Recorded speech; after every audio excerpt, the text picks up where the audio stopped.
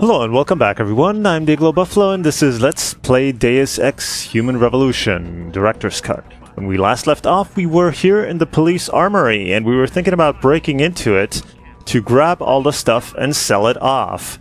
But you know what, I decided against it for now. Not in general, but just not at this moment because that stuff's not going anywhere. So let's just uh, stay on track for now do what we have to do, and uh, worry about. We can always come back for that. So let's spend praxis points when we need them, not because for now we only have a few of them. So let's be a little bit more careful with what we do. So let's head on over here.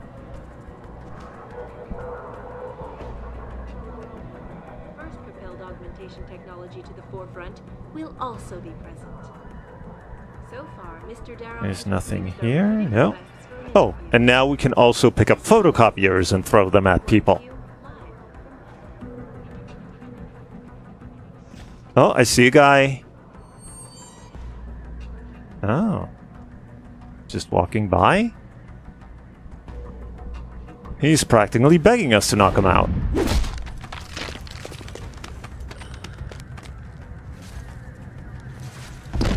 Night night. So, well, doesn't have anything in his pocket. And here's a vent shaft. So, we'll just drop him off in there.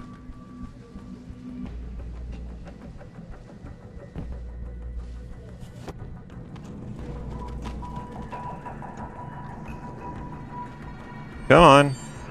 Don't get all hung up. Get it? oh, this uh, this is looks painful and very undignified. Okay, there's a camera over there. Oh, there's another guy. Oh, let's check out the other side first. Detective offices both ways. Oh. Oh, there's an open door, but... Oh, wow. That must be like a meeting room. There's like four of them in there? Yeah, yeah, one, two. There's one sitting down there. And... There's another guy. Yeah, four of them. Yeah, I'm not going anywhere near that.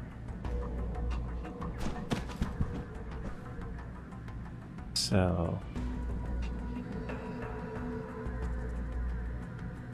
There is a vent shaft there, but what good is that? We can't take out four people. Again, unless maybe we had a gas grenade. But we don't. So... The... The question doesn't even come up. So let's see where this takes... Okay. I presume... No, this doesn't take us anywhere. I thought that would maybe take us to that meeting room, but no, it doesn't. We've got an office here with a guy inside it, but he's very helpfully turned away, so...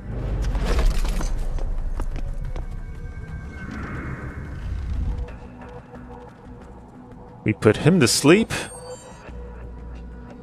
And now we can take a look around. He's got some money. Got a gun. Nothing in here. Oh, stop worm. 10 millimeter pistol ammo. Nothing over here.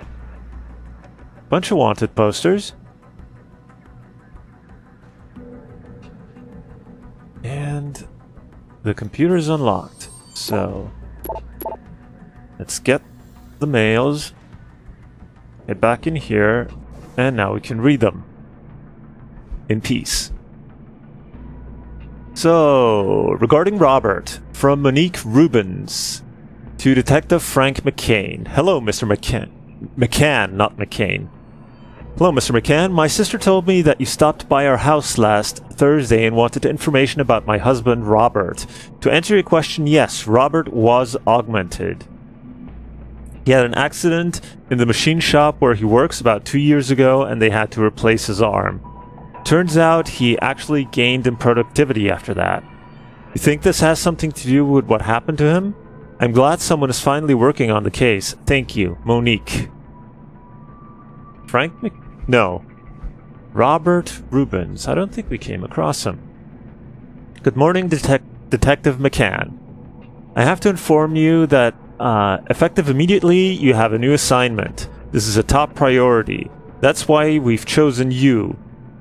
Uh, you are, after all, one of the oldest investigators on the payroll, a veteran. And we need that experience on this case. We've had reports of multiple disappearances recently. Abductions, murders, not clear. The majority seem to be women, but in a few cases augmented men have been disappearing. People in the area are getting scared about this, and when uh, people in Detroit get scared, you know something's fucked up. I'll have the files de delivered to you sometime today, Lieutenant Joan Ashbrook. Morgue lockdown. Sergeant Melanie Frizzell. 2 Det 87 all. Attention all personnel. The John Doe in the morgue is classified as ultraviolet under RHS 2012. You all know the drill. Everyone with blue clearance or lower, stay out of the basement. You'll be told when it's okay to move freely again. Thank you for your attention. So the morgue is in the basement. So, good night, Detective McCann. I'm moving on.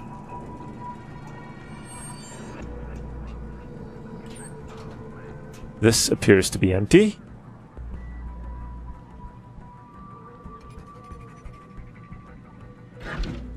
Wow! This guy's rolling in it. Well, guy walking by, but we can't take him out as long as a camera. Or we have to time it right.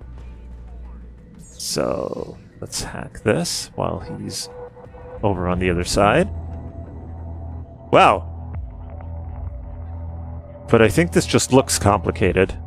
Because Whoa. I don't think we have access to all those spokes. Yep. Access granted.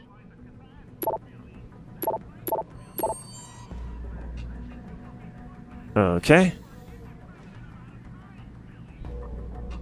And I saw some uh, some mission progress, so I think this is Wagner's office that we had to get into.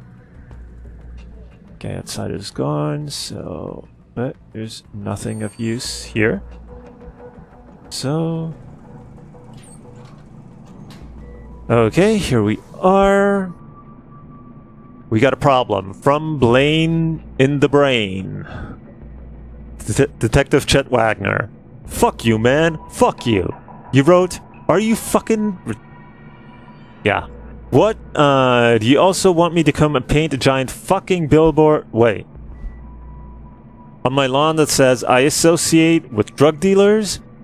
They could be screen they could be screening my inbox, you dumb fuck. Never, ever leave written evidence, stupid fucking bastard. Anyway, grow some fucking balls, Lopez. Uh, do I have to do everything? Yo, man. We got a motherfucking problem, bro. Some of them cats we stomped near the turf in City A are still coming around. I thought we had a deal, man. I let you in on the profit, but you have to keep them fucks out of my way so I can make the extra cheese dealing the stuff in the first place. yeah. So he wrote him on his work email. That's smart. Alright, Captain Ryan Penn, HS Training. Hello all, Homeland Security is finally, finally ready to start its training courses.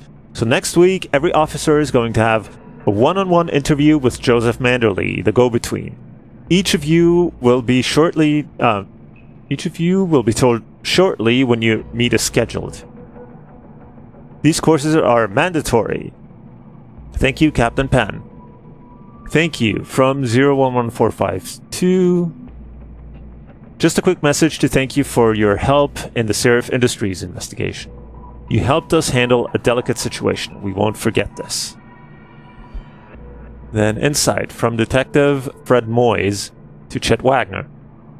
Hello, Detective Wagner. I'm a colleague from the 76th Precinct, and it has come to my attention that you were one of the investigators on the Sarif Industries attack a couple months ago. I'm currently assigned to the Sarif manufacturing plant case. I'm sure you are aware of the recent attack. I'd really like to meet with you and get your input on your investigation. See if we can cross-reference ev cross-reference evidence interviews.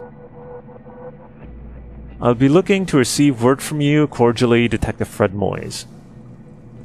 So was that mail from the drug dealer or whatever he was uh, the reason why he got demoted? And here's another another office.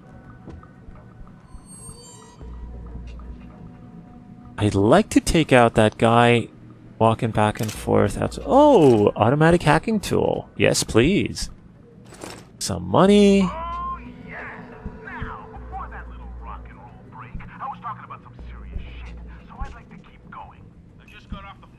Move this. Machine pistol ammo. They're doing real He is coming our way.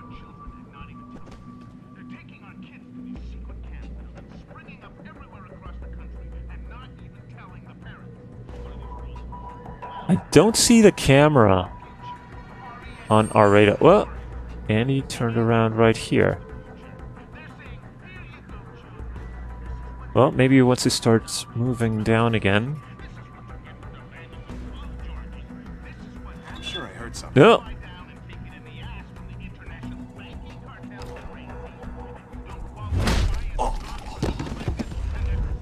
Amount of time, Billy.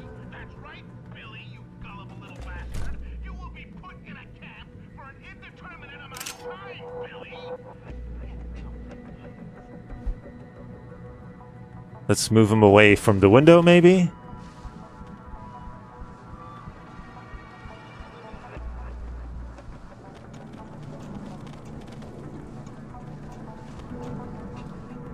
Here, have a nice nap.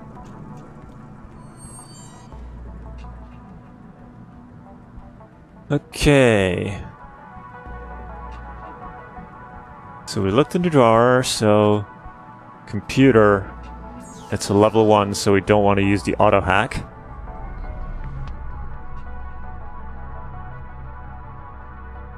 Huh, seems fairly simple.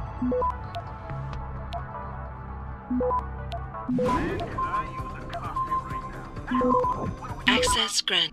And another nuke virus. Alright. Got off the phone with a mother from Florida who confirmed what most of us already know, but I don't want to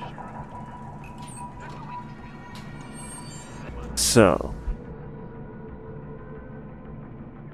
You Horan now? Hank the Tank. Detective Jenny Alexander. Hey, Jenny. I was walking around Grand River Road last Friday, and I'm pretty sure I saw you on the corner there, dressed as a lady of the night. What's up with that? You dropped the badge? Hope you kept the cuffs, though. Anyway, hit me back, we'll have lunch sometime. P.S. I assume you were working undercover. If not, please disregard the invitation. What, if she changed careers, you don't want to have lunch with her anymore? That kind of sucks. The Ballers from Munchies to Detective Jenny Alexander. Sup, officer?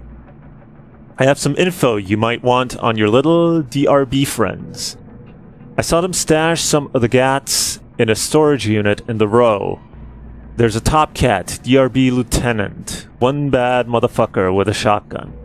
He got the code to that storage on one of them pocket bitches. One other thing, if you guys plan to raid the crib, you should be careful in the maintenance corridor between D row and a spot near the Chiron building. They put some soldiers there.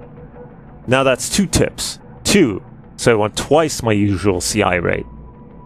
If you fuck me over on this, you can forget me my help in the future. Munchies. So I think this is referring to the same stuff we got because we saw an email that she sent to to the captain about a weapons cache. So, third floor offices from Adrian Varga Vergos uh, to Christopher Trott. Hey, Sergeant Frizzell wanted to make sure I give you the codes to all the third floor offices for your round. And there's the codes. So I think we now have the codes for all the doors, but we don't want those. Actually, what we should be doing is going through that corridor and hacking all the doors.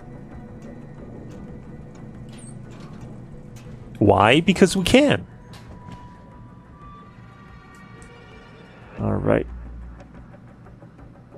Let's wait for this camera to not be looking our way.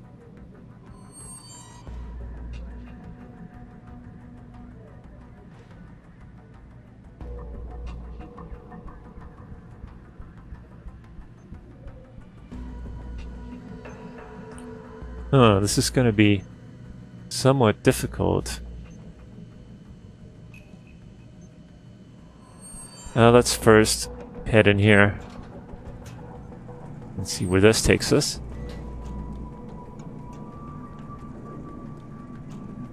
There's an office here.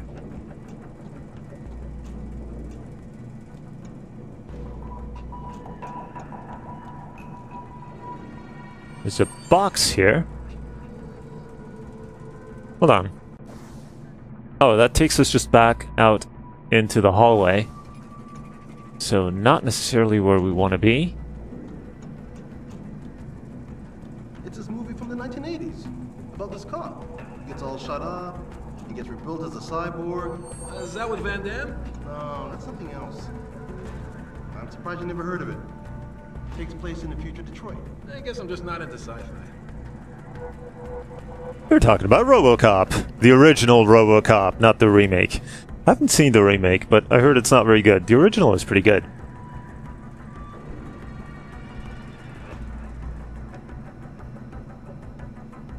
Hmm, I don't think there's any way of taking these guys out.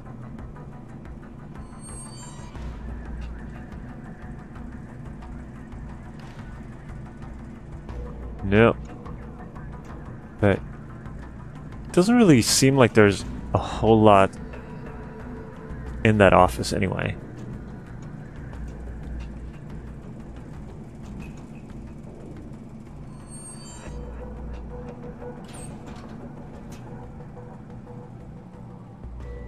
They certainly didn't notice that their colleague isn't patrolling anymore.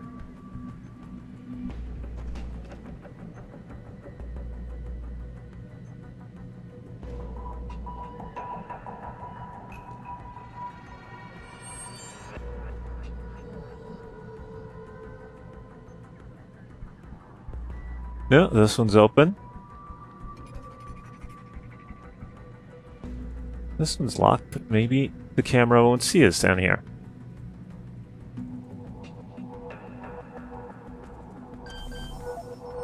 No, no, no, no, no, no, no, no, no, no, no, no, no, no. It did see us. So yeah, you can't use your position while crouching and hiding as an as an indicator of whether the camera will see you or not. Because that camera will see us. There's this, but, you know... Hold on, actually, I want to... I do want to get down to the end of that corridor. So, let's wait for this to move away again.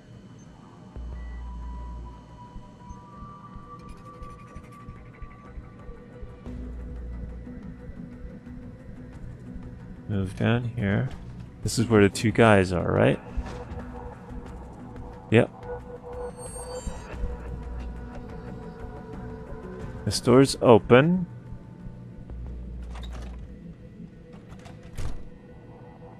And I think I know where we are.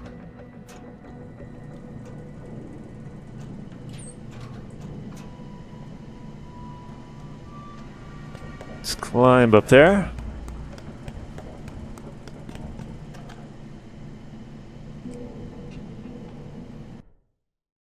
And I think we're now on top of that uh, fire escape that we used to break in at the lower level.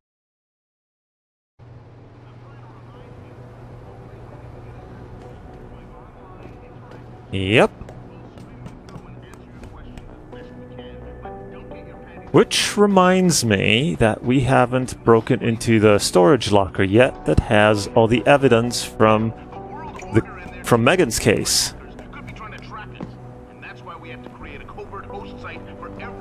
Over here. So, let's look at our inventory. It's getting full-ish. So, yeah, let's break into here. And then I'll find... Jensen, I have a message for you from one of your former colleagues, a detective Alexander. Jenny, what did she want? She said she could use some help if you can make your way over to Grand River Road. And might I just add, as wonderful as it is to have you back at the office, I am not your personal dating service.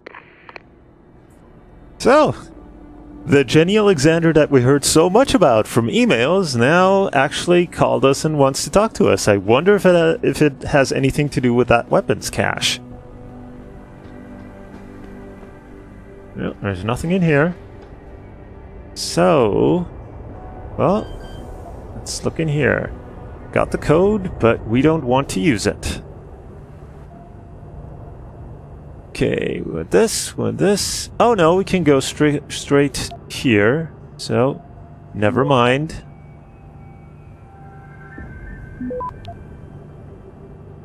Access granted. We got an extra 100 XP. And we are in. Oh, we have three Praxis available. I like the sound of that. And we have a level 3 safe, so we're gonna have to upgrade anyway. But we'll probably also be reasonably close to... Well, we'll need another 5000 XP, but we can hand in the the mission for Cassandra. And, uh, well, then we can make our way down to the morgue. So, yeah, we've got a few things to do, and we could probably get some XP in quickly. So in case we need to get that, um, we need to get the stealth upgrade as well. The, the hacking stealth. And then we can still relatively soon invest in our jumpy legs. So let's start reading. Sarif Industries Incident Report TA00514-008. Case number TA-00514. Incident terrorist attack on Sarif Industries headquarters, Detroit. Officer Detective Gene Sipkowski? Shepkowski? It looks Polish to me. I don't know if anybody knows how to pronounce that correctly. Please let me know. I'd be curious. I'm gonna go with Shepkowski. DPD 4211. Subject 008. Confused witness. Details. Apart from Sarif's chief of security, who is still in uh, critical condition in edit, that would be us, and another lab technician who is lying in a deep coma in the same hospital. The only witness to the attack on Sarif who was left alive is a tech named Arthur Hopkins. Something peculiar regarding the witness deposition or lack thereof. When we first got in on the scene, Mr. Hopkins was waiting for us in a rec room near the labs. He was obviously in shock but was quite coherent and ready to give a clear description of the incident. The emergency response team wanted to make sure his condition was stable before allowing us to interview him. When we came back after his checkup a few minutes later, he was incoherent and confused. He couldn't remember anything about the attack. We still haven't heard back from the ER team regarding this matter. Addendum, Captain Penn. The situation has been resolved with the medical team. Mr. Hopkins' condition has been validated. He suffered from a severe concussion. The matter is closed. So it seems more like he was drugged and then the whole thing was uh, buried. Sarif Industries in- Incident Report TA00514-023 Incident terror- Terrorist Attack on Sarif Industries Headquarters Detroit Officer Detective Christopher Chase DPD 3837 Subject 023 Attackers are definitely professionals.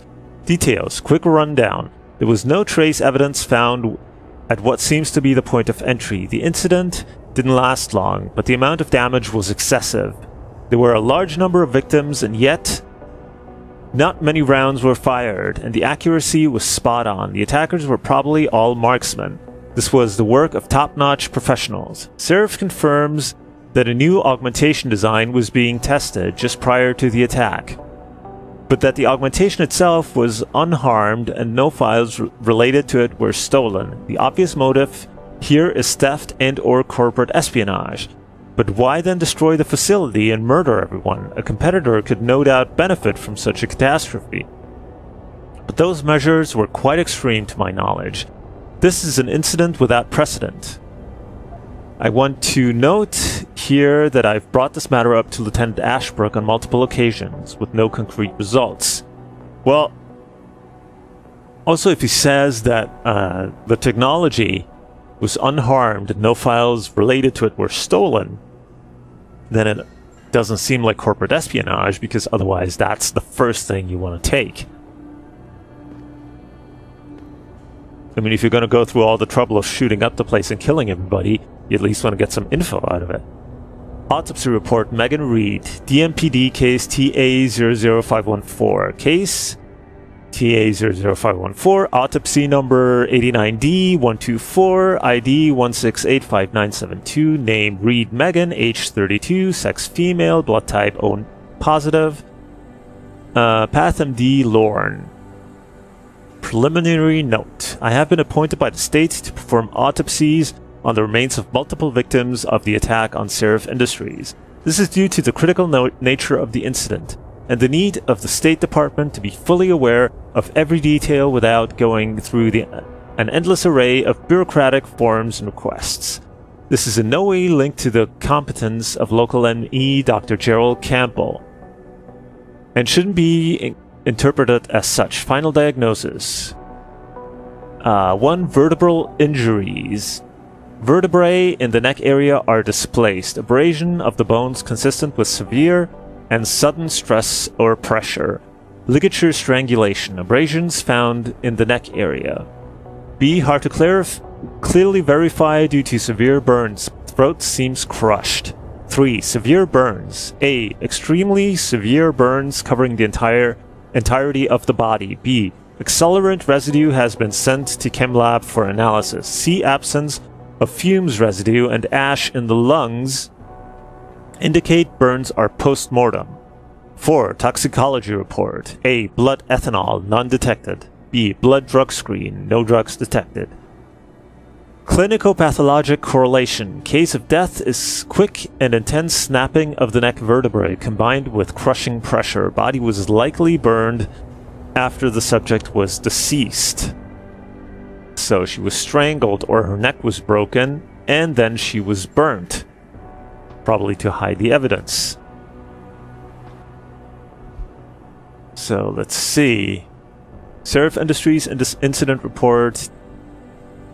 So, incident terrorist attack on Sarif Industries headquarters, Detroit. Officer Detective Gene Shepkovitz, Shepkowski. TPD 4211, subject 012, probable use of unidentified high tech compound. Details While examining the crime scene, uh, Detective Hayward and I both noticed that the area covered by the attack seemed abnormally damaged, burnt to degree that could not be explained by normal fire or the use of any known explosive. It was the same for all the re- recovered victims' bodies. Residue analyzed by forensic lab officers on the scene likely comes from a high-tech accelerant of unknown nature. It seems the lab equi- lab's equipment and victims were deliberately burned to an excessive degree. The most obvious conclusion is that this was done to eliminate all possible trace evidence, but it just feels odd, like something is off. Indeed. So, I guess we're at a juncture now. Oh, we actually do have the code, but we don't want the code.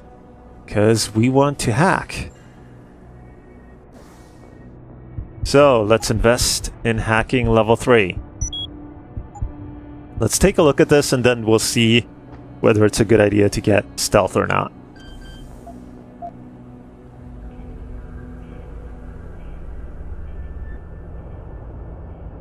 Alright, so we got two, two, one, spam over there. Ah, 60% chance. We might get lucky. Yes. I want this. the- oh, no, we can go straight for this. So never mind. None of that is necessary. Come on, come on. Access granted. Alright, and we got a 250 credits. Nice! So we got another ebook and a bracelet. Megan Reed, Lab Notes, Entry 708. It's hard to fathom at all sometimes. When I made that breakthrough in my research a couple of years ago, I never thought it would get this big. I thought it was an anomaly at first, but it's become to genetics what universal assemblers are to nanotechnology. We're talking about the holy grail of DNA here. Hell, this is Gregor Mendel big. Thing is, I have to bury the truth. Not the discovery, but how I reached my results. It's become harder lately. I betrayed someone, someone I respected for the sake of my research. I wish I had a chance to fix it, but it got bigger than me, bigger than Sarif. If this ever came to light, Sarif Industries could be ruined. I don't know what I'm going to do. I'm tired. I think I'll just wrap things up for today. So that was actually like Megan's notes, I think. And related to a research, not to the case. Oh, we can't close this. So, yeah. So she found something that was big and could get him into deep trouble. Well, the plot thickens. But I think we're going to interrupt this video here. So for now, thank you very much for watching. If you enjoyed it, please leave a like or a comment below. Uh, subscribe to stay up to date, and I will see you in the next part. So until then, have a good one.